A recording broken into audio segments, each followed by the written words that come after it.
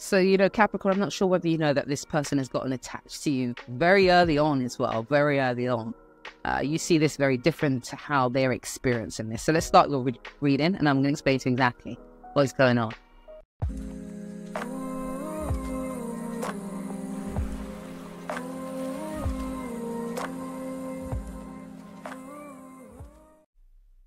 Hello, Capricorn. Welcome to my channel. Welcome back to uh, my channel for some of you guys. Hope you guys are doing well. So this is your general love reading for uh, March.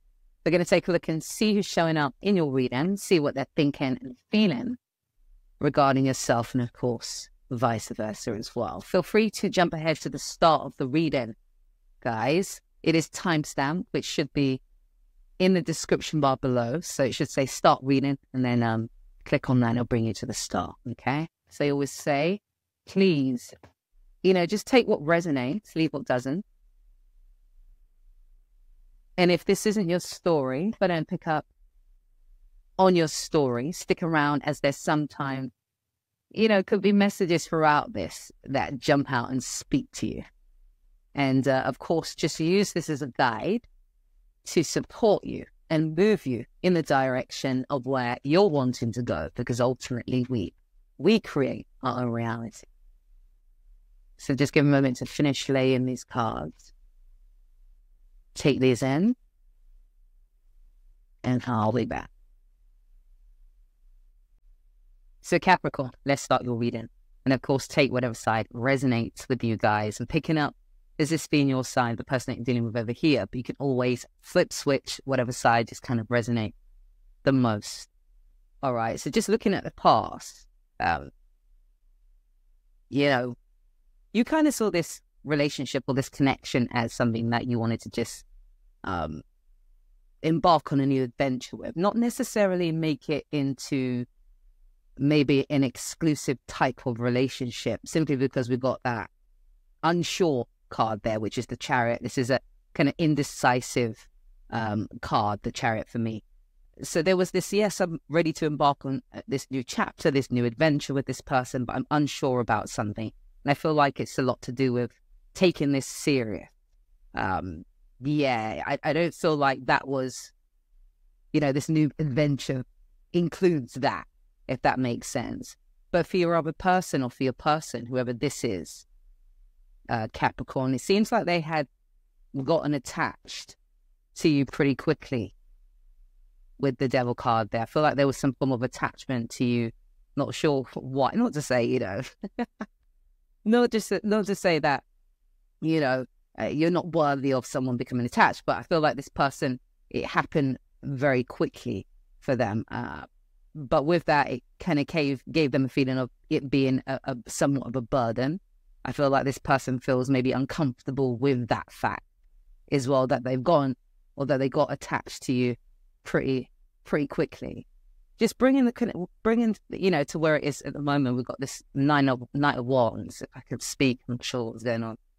Um, this knight of wands, which represents you know a lot of passion, a lot of desire, uh, but it's not a stable commit committed type of uh, card. This is more about you know let's just enjoy it Let's enjoy our time together.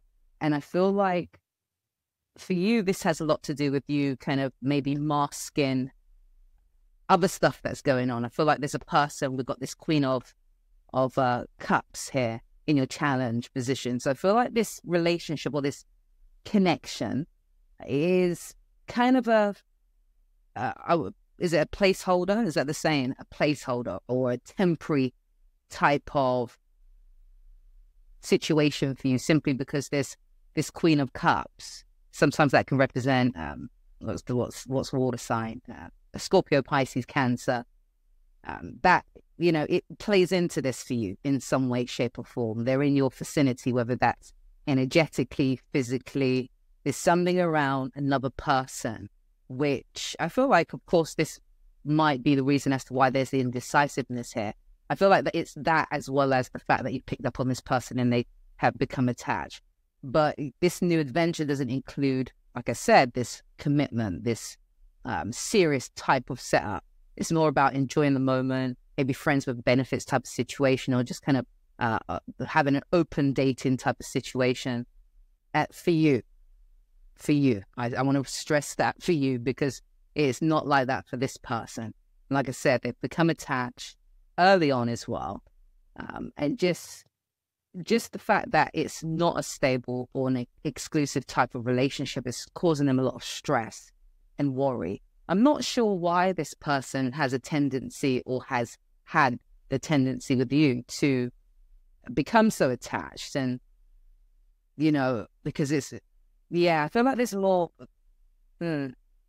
usually of course it's coming from a place of insecurity however i'm trying to see if there's anything that's jumping out that's the cause of that insecurity. And nothing's coming out but what it is doing is is preventing this you know relationship from coming coming together.